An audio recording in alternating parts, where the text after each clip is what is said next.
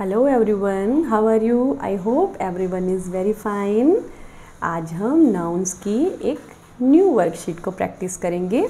इसमें हम पहली जो एक्टिविटी है, पहला जो क्वेश्चन है, उसमें मैच करेंगे और दूसरे में फिलअप जो छोड़ा हुआ है, वहाँ पर हम उस ब्लैंक को फिल करेंगे। तो मैच में हमें एक तरफ़ फ़ोटो दी हुई है इमेज बनाकर दी है और उसके सामने उसकी कैटेगरी दी है कि वो प्लेस है पर्सन है एनिमल है या फिर थिंग है।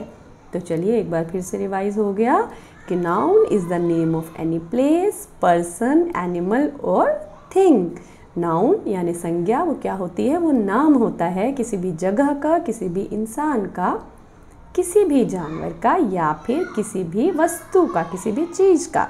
इसी तरह से नेक्स्ट है, उसमें भी इमेज दी हुई है और वहाँ पर हमें मैच नहीं करना है। वहाँ हमें सामने लिखना है कि ये पर्सन है एनिमल है प्लेस है या फिर कोई थिंग है। तो चलिए स्टार्ट करते हैं।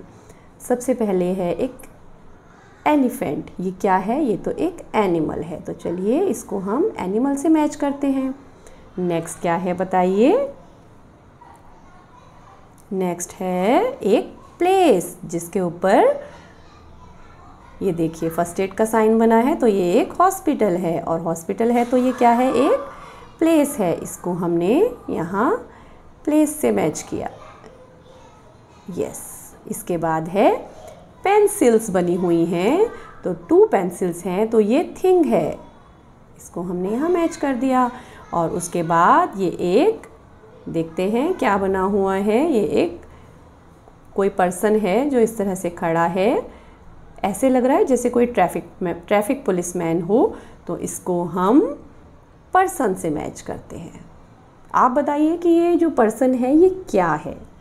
ठीक, अगर आपको पहचान में आता है तो आप देखिए और बताइए कमेंट्स में कि ये पर्सन क्या है। मुझे तो एक ऐसे खड़ा लग रहा है जैसे कोई ट्रैफ़िक पुलिस मैन हो। अब इसके बाद नीचे वाली एक्टिविटी में आते हैं। तो यहाँ पर एक पर्सन बना है और यहाँ पर हमने पर्सन को ड्रैग करके वर्ड को रख दिया है। इसके बाद ये साइड में एक मैप है। मैप तो प्लेस होता है तो यहाँ पर हमने प्लेस वर्ड को ड्रैग करके इधर रखा। इसके बाद बेड है तो बेड तो एक थिंग है, ऐसे। और ये जो बर्ड बनी है, ये एक एनिमल है, यानी कि एक जीव है ये कोई। जीव जंतु जो हम बोलते हैं, उनमें एनिमल्स भी आते हैं बर्ड्स भी आते हैं और इंसेक्ट्स भी आते हैं। तो इस तरह से हमने इनको मैच किया है।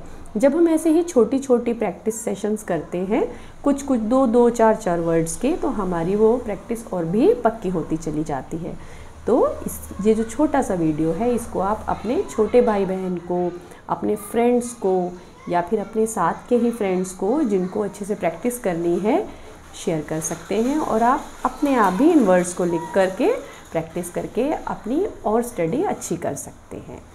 ठीक है? तो वीडियो को लाइक कीजिए शेयर कीजिए और चैनल को सब्सक्राइब भी कर लीजिए, जिससे स्पेसिफिक बिल्कुल छोटे छोटे आप वीडियो देखकर लर्न कर सके और अपनी प्रैक्टिस को और अच्छा कर सके।